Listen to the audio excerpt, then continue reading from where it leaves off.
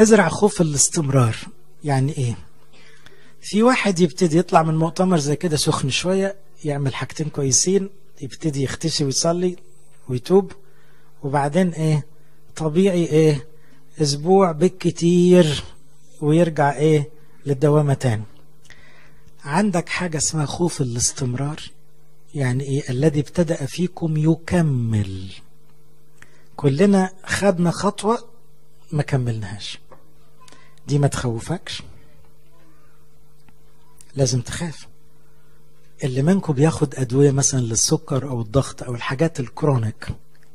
ينفع أنت بتروح بالأتاك في الأول ضغطك عالي سكرك عالي. بيديك دواء تاني يوم تالت يوم بتتظبط. بتوقف الدواء؟ بتخاف توقف. مش كده؟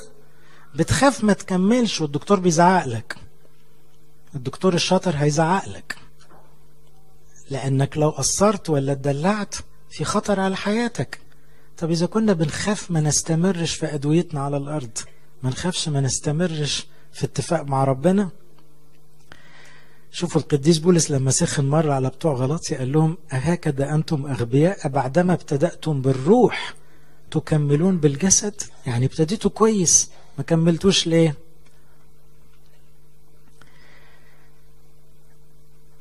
آية تاني في لقى 13 تقول حينئذ تبتدئون تقولون أكلنا قدامك وشربنا علمت في شوارعنا. يقول أقول لكم لا أعرفكم. من أين أنتم؟ تباعدوا عني يا جميع فاعل الظلم.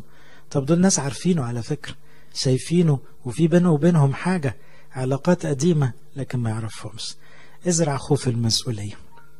أنت مسؤول عن عمرك عن وقتك عن فلوسك عن ولادك عن علاقاتك عن جيرانك عن موظفينك مسؤول بدرجة؟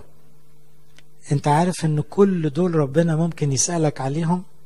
مش هيقول لك أنت مسؤول مسؤولية كاملة لأن كل واحد مسؤول عن نفسه. بس هيسألك عملت إيه مع فلان؟ تقول له أنا مالي. مفيش هو أنا مالي. مش كنت عايش معاه؟ ما حاولتش بأي درجة؟ سايبه يغرق مش تمد إيدك تنقذه؟ مش ده ابني؟ ربنا هيقول لك كده مش ده ابني؟ ما كانش فارق معاك يغرق. لازم تخاف من المسؤولية. خوف المسؤولية هو اللي هيخليك ما تسكتش على إنسان. تفرق تبقى مش عاوز حد يضيع مش عاوز حد تتعامل معاه في يوم من الأيام ما تلاقوش معاك في الفردوس. عاوز تتلم مع كل حبايبك في السماء وتبقى خايف واحد منهم يقع. الخوف ده هيخليك تخدم بذمة. بصوا الآية الجميلة دي اللي قالها القديس بولس يقول إيه؟ فإنه لا يستطيع أحد أن يضع أساسا آخر غير الذي وضع الذي هو يسوع المسيح ولكن إن كان أحد يبني على هذا الأساس حط ست أنواع من المبنى. هي ست أنواع من الخدمة الخدمات.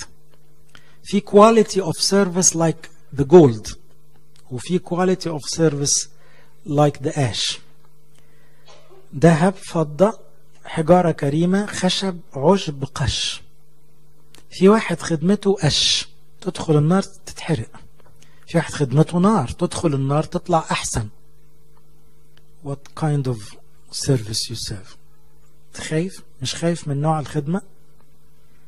مش خايف من المسؤولية؟ يا ترى خدمتك هتطلع أنهي نوع؟ لأنه بولس كان بيخدم خدمة من نار. لأنه عارف أنه في نار هتيجي تمتحن الشغل بتاعه.